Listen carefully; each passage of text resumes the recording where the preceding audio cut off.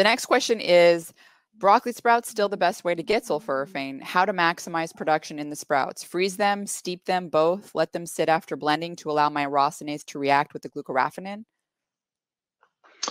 Um, yeah, so if you're home sprouting and you know what the glucoraphanin uh, content of your seeds are, uh, that's great. But i have already warned you, you probably won't be able to know what the content is. Um, uh, it's very difficult to know.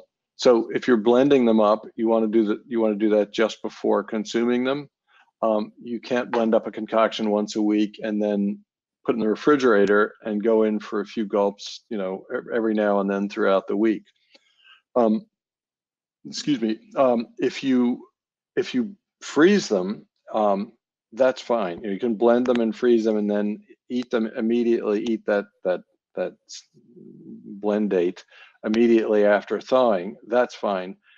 Um, if you you know if you're intent wait on, wait would you freeze the sprouts and then blend them immediately after and then consume them or honestly honestly you could do either i mean okay. what's you'll you'll the myrosinase will stay active um, and start it, it, won't be very active in the freezer uh, probably inactive but it'll start working again when you when you thaw um, when you thaw that that paste or whatever whatever you know the the concoction. Um, so you know if you're intent on getting a specific if you want to eat healthy and get some sulforaphane then i think eating broccoli sprouts or smoothies made from them or or um, uh, you know we've talked about some of the modes of delivery is great. If you want to get a known dose of sulforaphane um, then probably you're best to go to a high quality supplement. Um, but and then there's the question of commercially grown sprouts which we maybe can get into in another in another uh, sort of this has to do with um, cleanliness or sanitation of sprouts. But um, so, uh, you know, there's I think there's more chance of holding manufacturers accountable if you're taking a supplement, um, or there will be in the future, hopefully. If you're just if you're buying seeds and making your own sprouts, unless you get them tested for glucoraphanin content, you're really not going to know. You're not going to know how active the salt, the myrosinase might be in those sprouts either. Um, that, that said, I'm not trying to discourage anybody from doing it at all. I think it's a great idea, and it's cost um, effective as, as, well for sure. People, some people can't afford supplements.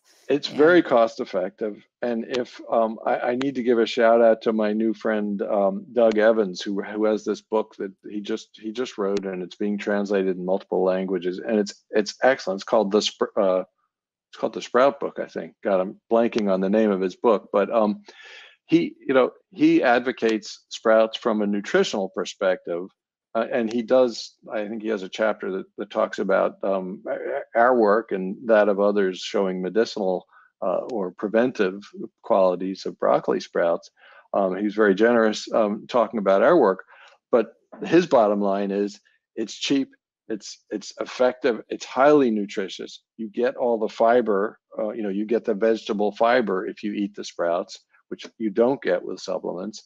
Um, and you know you get vitamins and you get minerals and blah blah blah. But he makes a very good case, I think, for and and I think he, uh, not to be disrespectful, but I think he lives on sprouts. I don't know if he eats anything but sprouts.